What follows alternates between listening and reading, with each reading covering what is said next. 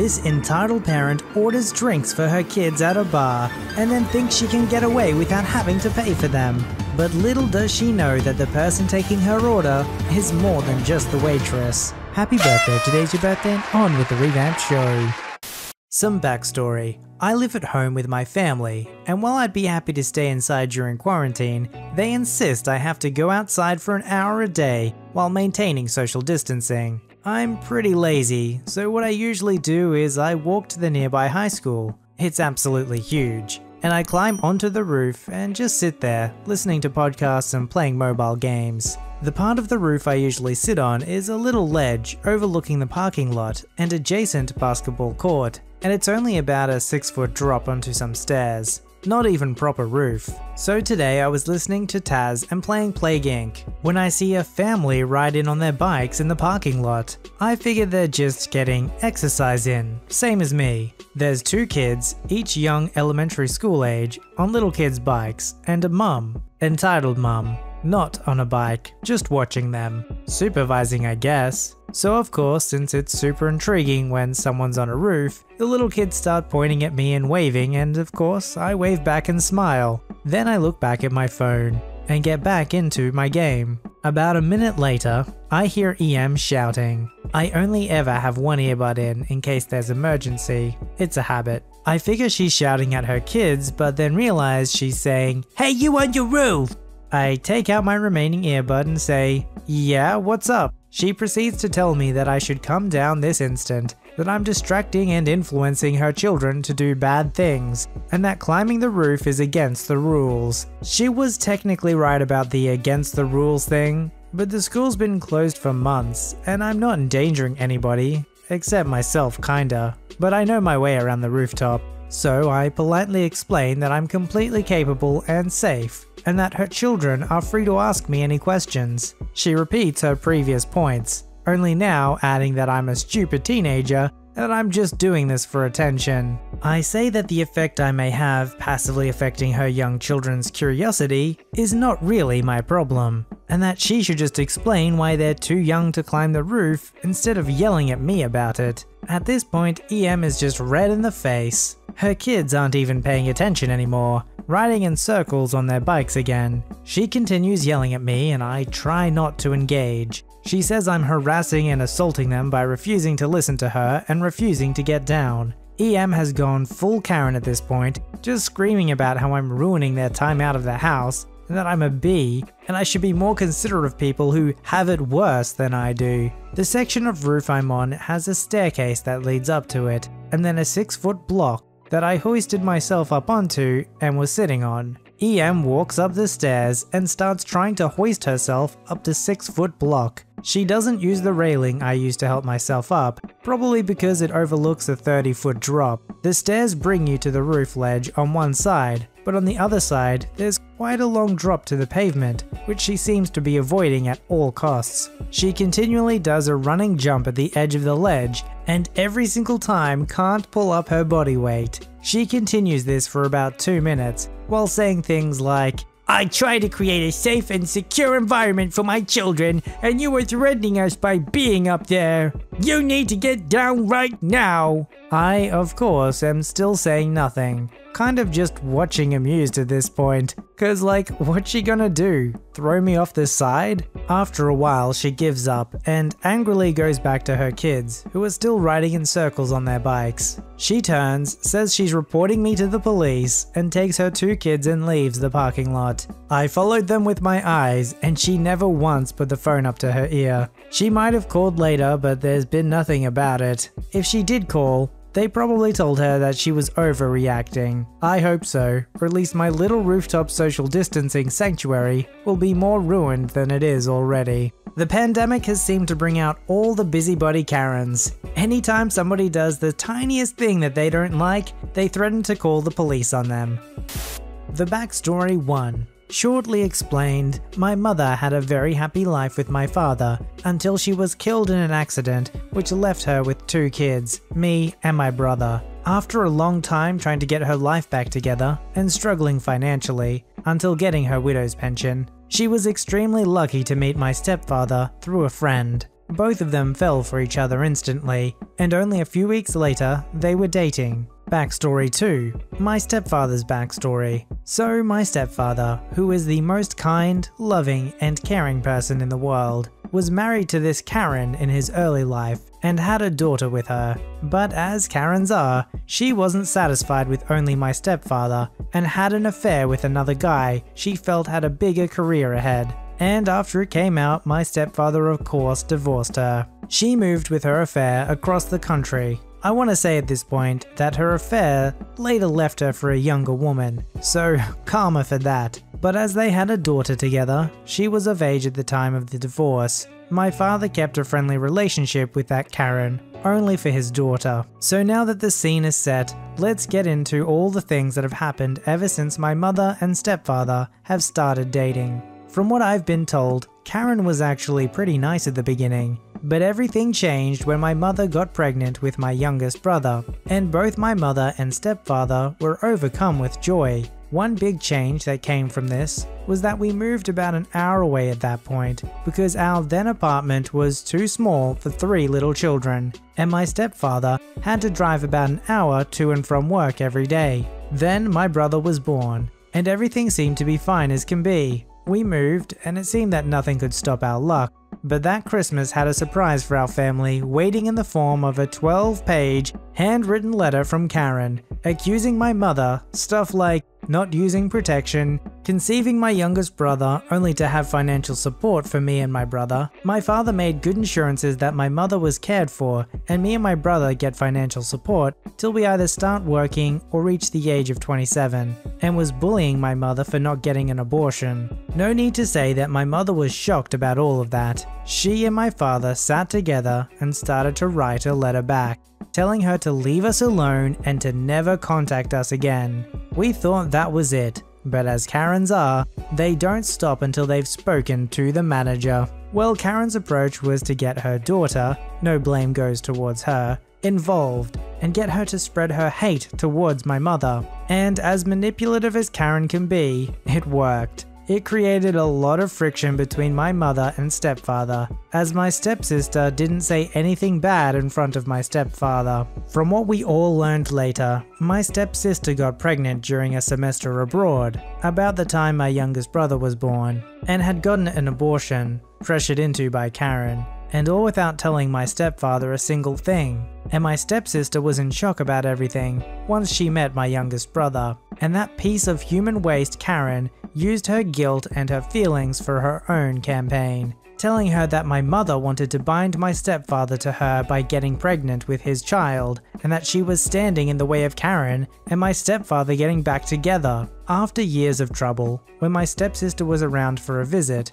me and my brothers were often at friends' houses when this happened. After years of Karen sending hate letters to my mother, even though we told the post not to deliver letters from her, Karen's web of lies and hate broke when she contradicted herself and the entire story was exposed. This led to a long talk between my mother, stepfather, and stepsister, which cleared up a lot of things and got them back to talking ground. We banished Karen's lies out of our lives, and while my stepsister still has contact, I don't know to which degree, we were finally Karen free. You would think the story would end here, but it doesn't. Karen's campaign, while blocked from us directly, was now being conducted through my stepfather's siblings. As my stepfather's family has regular gatherings, my step aunts and step uncles maintained a kind of good relationship with Karen, hearing nothing of her craziness, as it is none of my relatives' problems. So, Karen starts feeding them some of the lies she told previously, and some new ones to my relatives,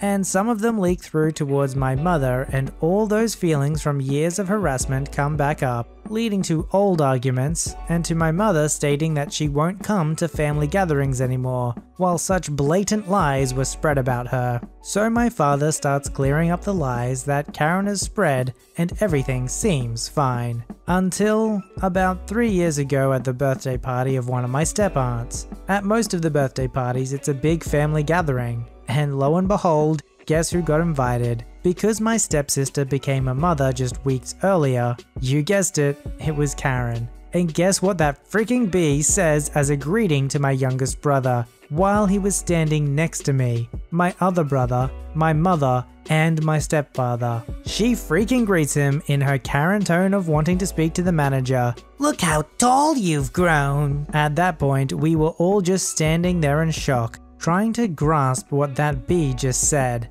After all the crap she wrote, trying to bully my mother into an abortion, she had the audacity to look my brother in the eyes and say that line as if she was a nice relative. Looking back, I was so utterly shocked that someone would actually say something like that that I was just standing there dumbfounded, unable to do anything until a few of my cousins, they don't know the whole story, got me away from there. We stayed there for dinner, but left quite soon after, because that waste of space was not only insulting my brother, bullying my mother, but openly started hitting on my stepfather, who was disgusted that she was invited to a family gathering, while she was neither friend nor family. After an enraged ride home, he gave his siblings an ultimatum either invite Karen to a party to never see him again, or expel Karen from all family related activities because he doesn't want her or her negativity anywhere close to his family. I would love to say that this story has a happy ending, as in getting her arrested or a restraining order on her,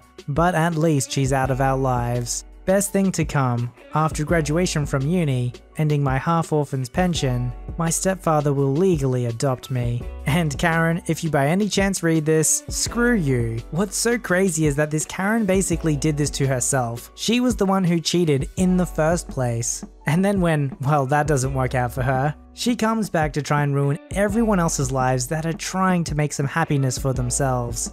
So for about three years, I was between 12 and 15 years old. My dad owned a pub. I'm from the UK, and until my health got bad, I used to chip in the majority of the time cleaning, washing up, serving, waitressing, etc. So this story takes place when I was 14 on one of the busiest nights, Halloween.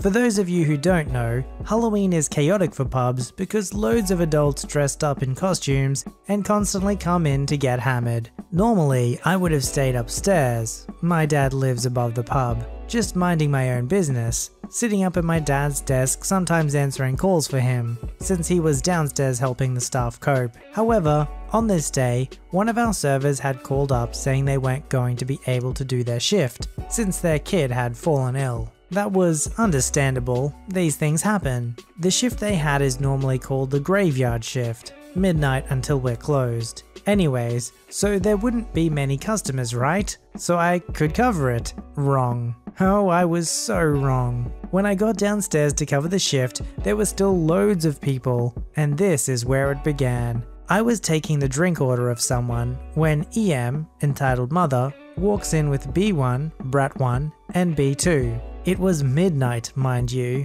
B1 was 4 year old girl and B2 was 7 year old boy. I saw them, made the mistake of making eye contact, and then went back to taking the customer's drink order. NC is nice customer. Me to NC. So your table wants two list drinks, correct? Yes, thank you. Alright, I'll add it to your bill. Already had four drinks between him and his buddy. Thanks. EM screamed from the other side of the room. Excuse me, me and my babies are thirsty. Yes, she actually said that. Uh, one moment and I'll take your order.